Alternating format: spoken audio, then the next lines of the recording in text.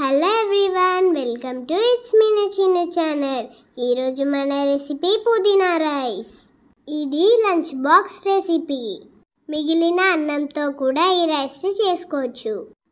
పొడి పొడిగా వండుకున్న అన్నంని ఇలా ఆరబెట్టుకోవాలి ఒక చిన్న కట్ట పుదీనా ఆకుల్ని వాష్ చేసుకొని మిక్సీ జార్లో వేసుకోవాలి. దీంట్లో ఒక రెండు పచ్చిమిర్చిని వేసుకోవాలి. అలాగే వన్ని ముక్కలను. రెండు వెల్లుల్లి రెబ్బలను వేసుకోవాలి. ఇవన్నీ ఒకసారి గ్రైండ్ చేసుకోవాలి. కొంచెం వాటర్ వేసి సాఫ్ట్గా గ్రైండ్ చేయాలి. ఇప్పుడు స్టవ్ ఆన్ చేసి కడాయి పెట్టుకొని ఒక స్పూన్ ఆయిల్ వేసుకోవాలి. నేను ఒక స్పూన్ నెయ్యి కూడా వేసుకుంటాను టేస్ట్ కోసం. మీరు కావాలంటే ఓన్లీ ఆయిల్తో కూడా చేసుకోవచ్చు. ఒక్కొక్కటి చొప్పున మసాలాలు వేసుకున్నాను. మీరు మసాలాలు వద్దనుకుంటే వేయకండి.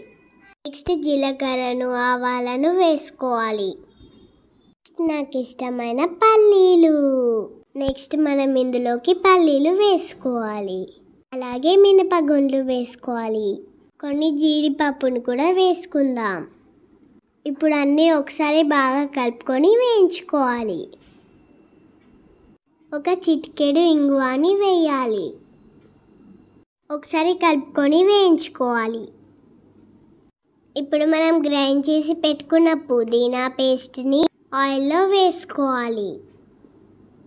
ఈ పుదీనా పేస్ట్ని ఆయిల్లో బాగా వేయించాలి.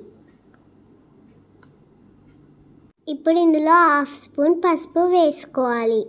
అలాగే వన్ స్పూన్ సాల్ట్ వేసుకొని ఒకసారి అంతా కలుపుకొని వేయించుకోవాలి.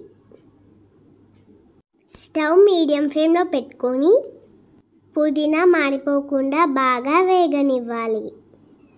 పుదీనా పచ్చివాసన పోయేంత వరకు కలుపుతూ వేయించాలి.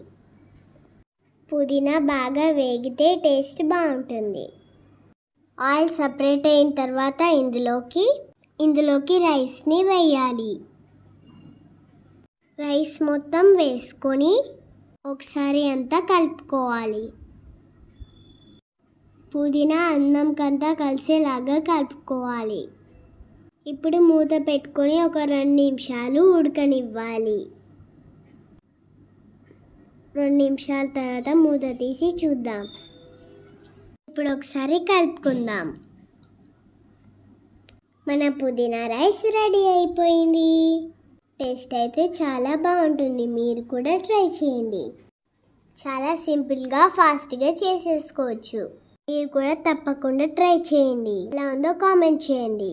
ఆ రెసిపీ మీకు నచ్చిందా? అయితే లైక్ చేయండి షేర్ చేయండి సబ్స్క్రైబ్ చేయండి. Thank you for watching my video.